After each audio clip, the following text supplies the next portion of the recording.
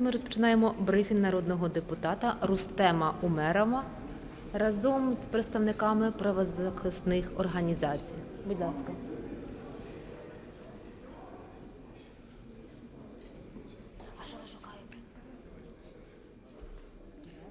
Доброго дня.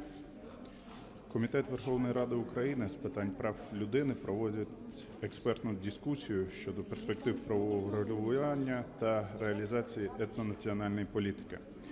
У ході дискусії ми говорили про ключові виклики та проблеми питання реалізації державної етнонаціональної політики, зокрема її незалежного законодавчого та інституційного забезпечення. Також обговорили питання поточної ситуації з реалізацією прав національних меншин в Україні, забезпечення прав корінних народів, захисту мовних прав національних меншин, перспективи розвитку етнонаціональної політики. Зараз хочу передати слово Кондор Земфірі, керівниці проєкту Захист національних меншин, включаючи ромів та е, мови меншин в Україні, Офіс Ради Європи. Щиро дякую. Дякую, шановні колеги. Сьогодні надзвичайно важлива тематична е, дискусія, саме обговорення питань етнополітики та національних меншин в Україні, яка налічує більше 130 е, представників національних меншин. Рада Європи підтримує уряд України е, через технічну, через експертну підтримку, через проект, який проваджується в Україні, який стосується національних меншин, включаючи ромів. Для нас надзвичайно важлива співпраця з комітетом Верховної Ради, підтримка національних спільнот, організацій, які представляють інтереси е, національних спільнот. І е, тому сьогоднішня дискусія вона вже показала важливість захисту е, саме національних меншин в Україні і те, що е, е, захист національних меншин є е, невід'ємною частиною саме е, прав людини і є ознакою демократичного суспільства в Україні. Ми почули вже сьогодні від представників національних меншин про важливість прийняття участі в прийнятті рішень на різному рівні про створення е, або початок роботи органу, який би займався питаннями національних меншин, про необхідність е, затвердження етнополітики і нового закону е, щодо національних меншин. Тому у всіх цих питаннях Рада Європи готова надавати саме експертну підтримку і далі співпрацювати як з комітетом, так і з урядом України. Дякую. Доброго дня, е, шановні журналісти, шановні телеглядачі. Я представник міжнародної громадської організації Інтернаціональний Союз. Це парасолькова організація, яка займається забезпеченням прав національних меншин в Україні. Мабуть, говорити про те, що важливість питання етнополітики е, є актуальною сьогодні, не приходиться. По-перше, е, ми маємо розуміти, що вирішені всі питання національних меншин це гарантія того, що в Україні буде внутрішня стабільність, це гарантія забезпечення безпеки, це е, гарантія також інвестиційної привабливості і конс- консолідованості суспільства. Дуже хочеться сказати, що е, звичайно за останні роки у нас є багато зрушень е, у сфері етнополітики.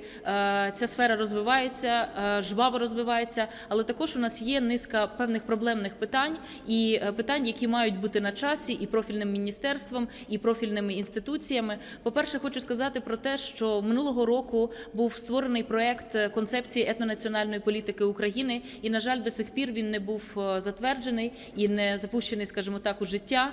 Е, Окрім того, е, зараз е, профільне міністерство, яке займалося питаннями е, забезпечення прав національних меншин, проходить певний етап реконструкції, і е, ми маємо вже затверджено.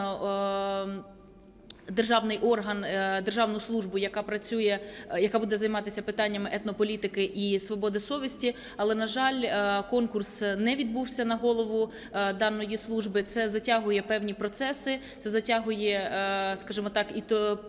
Трішечки гальмує е, саме розвиток е, і саме вирішення проблемних питань в сфері етнонаціональної політики. Ми дуже сподіваємося, що це питання буде вирішено найближчим часом. Окрім того, хочемо сказати, що у е, у етнонаціональних організацій представників е, меншин є деякі занепокоєння, бо е, ми дуже чекаємо на перепис населення, і саме нам потрібно знати і кількісний склад, і всі особливі показники, які є необхідними для е, ефективної для проведення ефективної е, політики в сфері етно е, е, в сфері.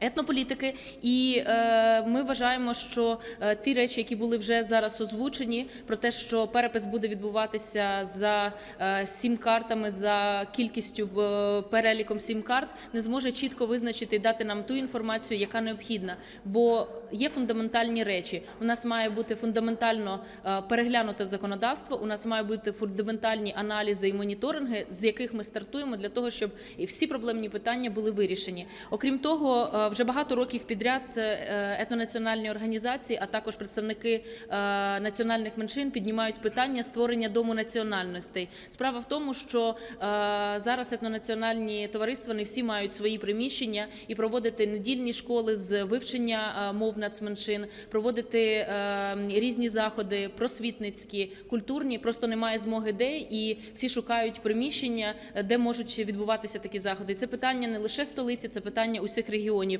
І тому е, до держави велике прохання розглядати ці специфічні регіони, де є поліетнічний склад населення.